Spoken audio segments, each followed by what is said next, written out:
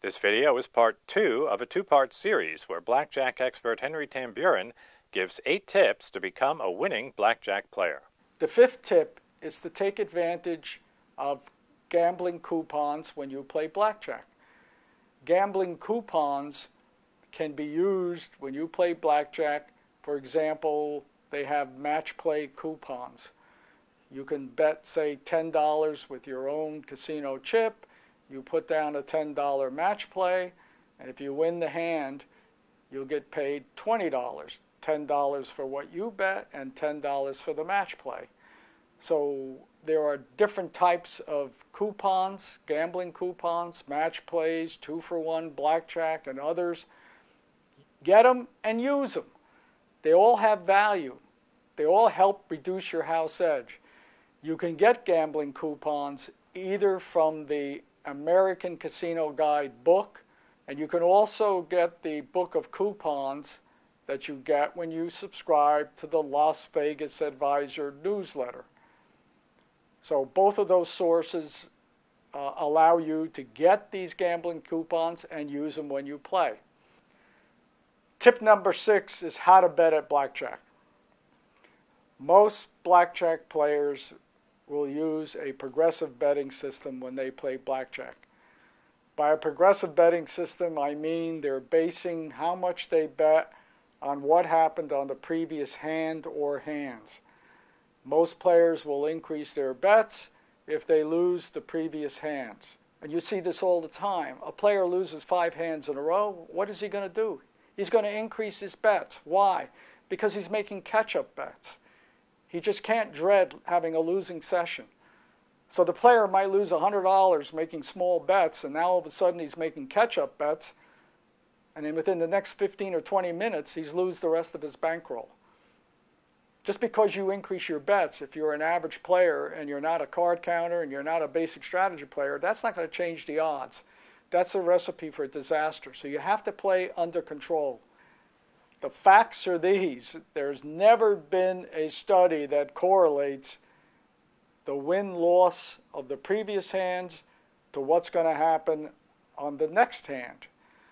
So you can use a progressive betting system till hell freezes over, but it's going to do absolutely nothing to change your odds of winning that subsequent hand.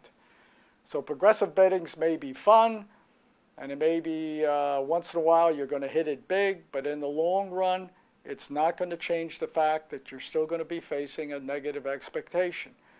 So what can you do about improving your chances of winning when you bet at blackjack? The way that you have to bet is you only want to increase your bets when you know your chances of winning the next hand are good. And the only way you're going to know that is what happened in the previous hands as far as the ratio of little cards to big cards. Now, why do we have to look at this ratio? Because there have been gazillion computer studies that looked at what happens if I pull a specific card out of a deck and I play blackjack. Does it improve a player's chances of winning or does it worsen the player's chances of winning? And all these computer studies show that the small cards, the little ones, the two, three, four, five, six, are not very favorable for a player. They help the dealer more than a player. The large cards, the 10, Jack, Queen, King, Ace, are the ones that help the player more than the dealer. So if you sit down, for example, at a two deck blackjack game and you watch the first round and you see a lot of little cards and maybe only a couple of big cards, and the dealer scoops them all up, puts it in the discard tray, and now he's ready to play the second round. You have valuable information. You saw a lot of small cards in that first round. That means there has to be a lot of large cards left in those unplayed cards that are going to come out in the next round. This is the opportunity where you want to make a larger bet because your chances of winning now have increased. So, how do we manage and how do we track these small cards and big cards? Well, the answer, of course, is card counting. And as soon as I mention card counting, most average players run for the hill and say, that, that's not for me. It takes too long. It's too much mental arithmetic and so on and so forth. What I'm suggesting for recreational players is to use what I call entry-level card counting systems. These are card counting systems that have been developed, say, within the last 10 years, specifically for recreational players that allow them to change from being a gambler where the house has the edge, and that's even a basic strategy player, over to where you have a positive expectation and you are no longer a gambler, you are now an advantage player. And that is a wonderful feeling if you are a blackjack player and you know because you have these skills that you are now an advantage blackjack player. You can easily cross that line by learning any one of several entry-level card counting systems, like speed count, which is extremely easy, uh, the rookie KO count, the KISS card counting system, the ACE5 card counting system. All of these systems are available in the, on the internet or in different blackjack books. They're all relatively easy to learn and to use. And again, by using them, you're now using a technique which tells you how to bet in blackjack and it allows you to cross that line from being a gambler to being an advantage player where you have an edge. Now you're not going to have a tremendous edge like a professional card counter that uses an advanced level card counting system like Hi-Lo or any one of the other advanced card counting systems. But again, they take months to learn. What I'm suggesting is you use a simple system which takes very little time, in some cases a, just an hour or so, and now when you play blackjack, you'll know exactly when to bet more money. Tip number seven is basically about playing blackjack sensibly. For example, when you play blackjack, you have to have a bankroll. You definitely don't want to play blackjack with what I call scared money. You don't want to play with money that you need to pay the rent, to pay a car note. You've got to play with money that you've set aside, discretionary money that if the worst happens and you lose it, it's not going to be a financial crisis in your life. And I recommend that players take a sum of money, open up a money market account, Call it a 401g, G for gambling. This is the money you set aside that you're going to use to play blackjack. You take out a certain sum, you play blackjack, win or lose, whatever's left, you put it back in. And that's the money you use only to play blackjack. Second, you want to make sure you don't overbet when you play blackjack. Even a recreational player, if he sits down at a $25 table minimum bet table and he's got a $200 bankroll, the chance that he's going to go broke is extremely high. So you have to bet in proportion to your bankroll. If you have a minimum amount that you can afford to play blackjack, then you need to be sitting at a minimum blackjack table, $5 or $10. Now, if you're a card counter, things get a little bit sticky here because it's extremely important that you don't overbet if you're a card counter. It's one of the principles I spend the most time teaching when I teach card counting is this whole concept of risk of ruin.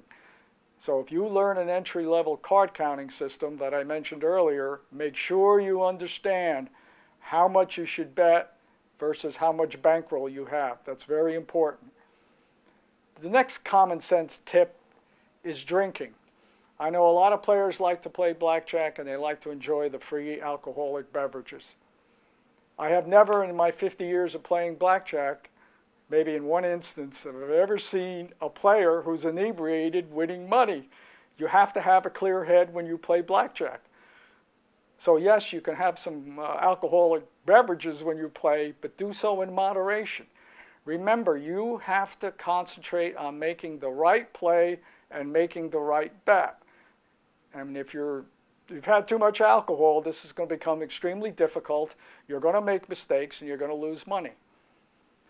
And keep in mind when you are sitting at a blackjack table and playing in a casino, the whole atmosphere in the casino is designed to be exciting.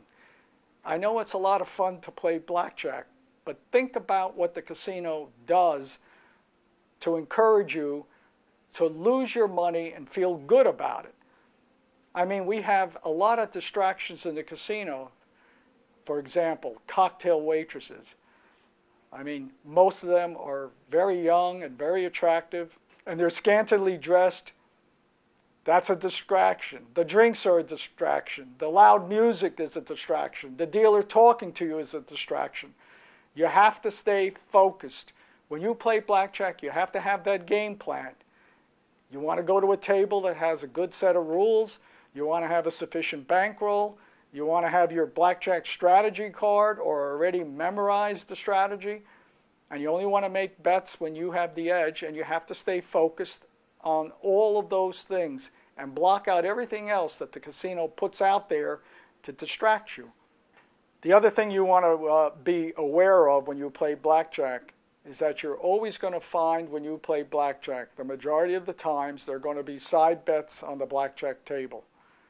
These can be bets such as the Lucky Ladies or the uh, Royal Match. There, there's a whole cornucopia of side bets that the casino puts on blackjack tables. And the reason they do that is they want to increase their revenue from a blackjack game. And the come on of these side bets is they're usually, you can only, the, the minimum bets are a dollar. And if you win these side bets, you generally will, will win more than a dollar. They have high payoffs.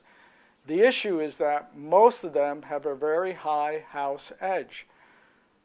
And if players continually make these $1 side bets hand after hand after hand, that high house edge is just going to grind down their bankroll. That's not to say that all side bets are bad. There are some side bets where you can actually gain the house edge by using a specific counting system. And again, I encourage you to go to my Ultimate Guide to Blackjack. I've got a chapter on side bets, and I also go over the ones that you can get the edge by using specific counting systems. Now, what about these blackjack variant games? Nowadays, you're going to go to a casino and you're going to see games like Blackjack Switch, Spanish 21, Super Fun 21. Now, these are all blackjack games that have different rules, and more importantly, they have different basic strategy than the basic strategy that you would learn for the traditional game of blackjack. And unfortunately, most players they learn the basic strategy for blackjack and they sit down at a Spanish 21 or a uh, blackjack switch game and they use that same basic strategy. That's a recipe for disaster. If you want to play blackjack switch, you have to learn the basic strategy for blackjack switch. And you also have to learn the switching strategy for that game. The same thing with the other blackjack variants. So be careful when you play blackjack. If you want to make side bets, Stick to the ones where you have a chance of winning by a specific counting system, or if you want to play one of the blackjack variant games, make sure you learn the basic strategy for those games.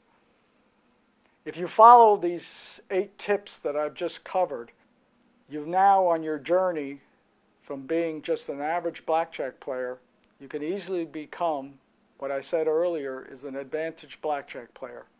Where now, when you play blackjack, you have a good chance of winning more money that you lose over your lifetime.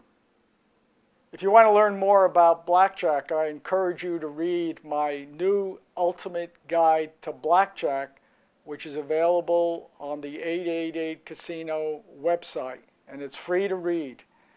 You can also go to my website, bjinsider.com, where you can read back issues and current issues of the Blackjack Insider newsletter. And you can also get three free emailed issues by simply going to bjinsider.com forward slash free trial.